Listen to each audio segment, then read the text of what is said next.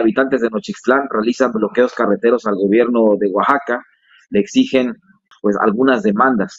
Alto a la impunidad, a la intimidación, a la coacción y a la corrupción en Nochixtlán. Auditoría es lo que piden. Intervención del gobierno del estado para que le practiquen auditoría al ayuntamiento y bienes comunales, además de la regularización de la tenencia de la tierra. Atención al agua potable, seguridad y apertura de la tienda comercial Bodega Horrera. La manifestación inició alrededor de las 9 de la mañana con 30 minutos de este martes 17 de mayo. El primer bloqueo se ubica sobre la autopista 135D, tramo Oaxaca-Coagnolapan.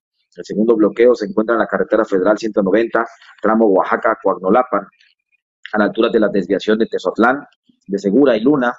Ahí el paso sería intermitente cada hora de acuerdo a lo manifestado.